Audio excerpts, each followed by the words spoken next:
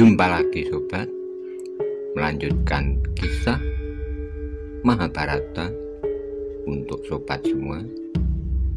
Salam bahagia dan sejahtera Untuk Anda sekeluarga Pada episode sebelumnya dikisahkan Pandu memenangkan sayembara yang diadakan oleh Raja Kunti Puja untuk mendapatkan putrinya Dewi Kunti. Dan Dewi Kunti diboyong ke istana Astinapura. Bagaimana kisah selanjutnya? Simak bersama-sama. Serial Mahabharata episode yang ke-10 Pandawa lahir di hutan. Pada suatu hari, Raja Pandu pergi berburu di hutan. Di dalam hutan itu ada seorang resi yang sedang asik bercengkerama dengan istrinya dan menyamar sebagai sepasang kijang. Pandu yang melihat pasang kijang itu tidak menyangka bahwa mereka adalah jelmaan seorang resi dan istrinya. Dia mengangkat panahnya, membidik mereka. Dan meluncurlah anak panah dari tangan Pandu. Melesat cepat, tepat menancap pada tubuh si kijang jantan. Kijang itu jatuh terguling, luka berdarah-darah. Dalam keadaan sekarat Kijang jantan itu berubah menjadi resi dan mengucapkan kutuk pastu terhadap Pandu. Hei lelaki penuh dosa, rasakan kutukanku. Engkau akan menemui ajalmu sesaat setelah engkau menikmati olah asmara dengan istrimu. Setelah melontarkan kutukannya, resi itu mengembuskan napas yang penghabisan. Pandu sungguh kaget mendengar kutukan sang resi. Dengan perasaan putus asa, ia memikirkan akibat kutukan itu. Akhirnya ia memutuskan untuk mengundurkan diri dari kerajaan dan menyerahkan semua urusan kerajaan kepada Bisma dan Widura.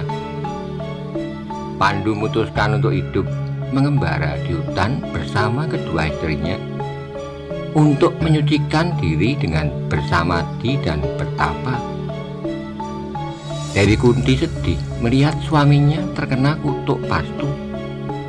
Ia tahu sebenarnya suaminya ingin sekali mempunyai keturunan, tapi tak kuasa mewujudkannya.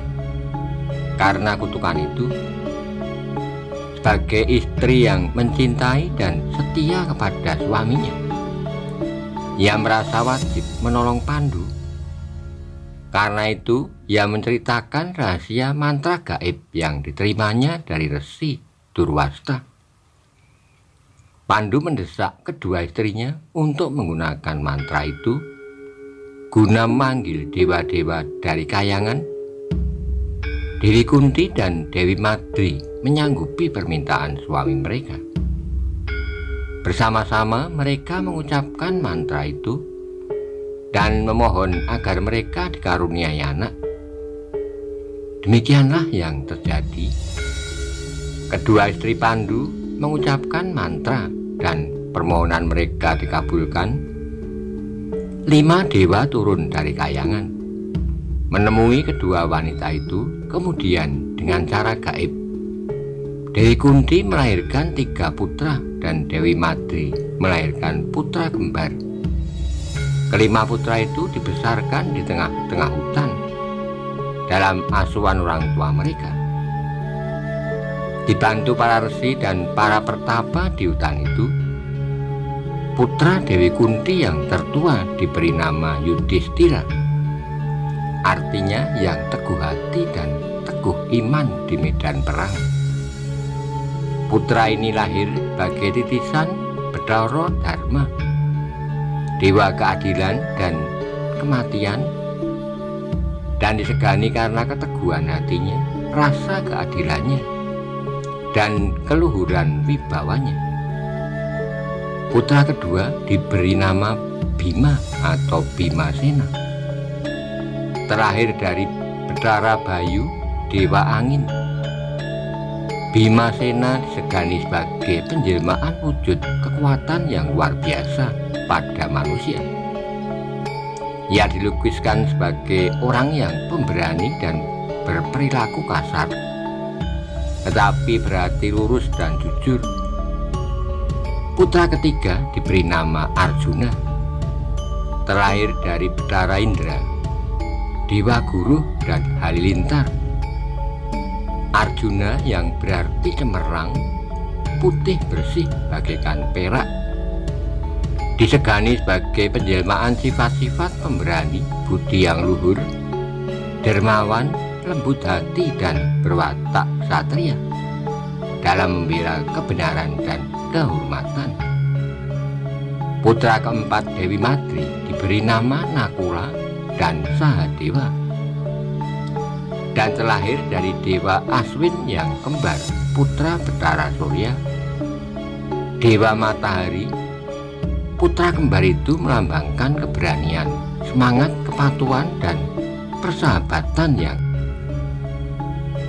kehidupan di alam bebas di dalam hutan itu memberi pengaruh sangat besar dan mendalam bagi pertumbuhan jiwa dan raga putra-putra Pandu yang disebut Pandawa. Kelak setelah mereka dewasa, kelima putra itu akan memegang peranan penting dalam sejarah dan membuat seisi dunia kagum. Hari berganti hari, bulan berganti bulan, dan tahun berganti tahun. Kehidupan di dalam hutan sangat tenang. Pepohonan dan bermacam-macam binatang hidup damai bersama manusia yang menghuni hutan itu. Mereka bagaikan satu keluarga besar yang hidup selaras dengan alam. Memang demikianlah seharusnya karena Yang Maha Kuasa telah menciptakan alam semesta seisinya dengan tatanan yang adil bagi setiap makhluk ciptaannya. Pada suatu pagi di musim semi yang indah, Pandu dan Dewi Madri duduk termangu memikirkan kutukan yang membuat mereka sengsara. Mereka sedih merasakan gairah asmara yang terpendam dan tak mungkin tersalurkan. Padahal alam di sekitar mereka sedang mengenakan busananya yang terindah. Bunga-bunga bermekaran menaburkan garuman yang semerbak. Burung-burung berkicau riang dan aneka marga satwa bercengkrama memuaskan nafsu birahi dalam udara musim semi yang segar. Pandu memandang sekelilingnya kemudian menatap Dewi Madri yang jelita terpengaruh oleh keindahan alam dan suasana musim semi yang penuh gairah. Ia lupa diri dengan penuh gairah. Ia meluk Dewi Madri dan mencumbunya. Dewi Madri berusaha menolaknya, tetapi tak kuasa. Mereka segera tenggelam dalam olah asmara yang menggebu-gebu. Tetapi tiba-tiba Pandu roboh dan seketika itu juga mengembuskan napas yang penghabisan. Kutuk pastu yang dilontarkan resi yang menjelma dalam rupa kijang yang mati dipanah oleh Pandu menunjukkan kesaktiannya. Dewi Madri sangat sedih, lebih-lebih karena ia merasa berdosa dan bertanggung jawab atas kematian Pandu. Ia segera menghadap Dewi Kunti memohon agar wanita itu bersedia mengasuh anak-anaknya sebab ia akan menyusul suaminya dengan melakukan satya. Tak ada yang dapat mencegahnya. Dewi Madri melakukan satya dengan menerjunkan diri ke dalam api pembakar jenazah suaminya.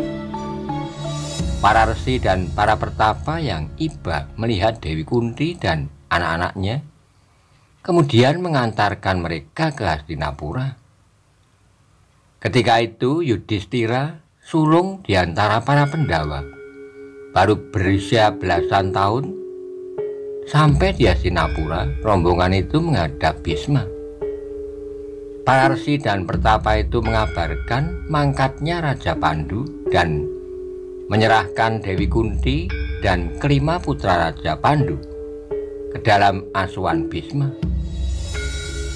Mendengar kabar itu, seisi kerajaan berkabung.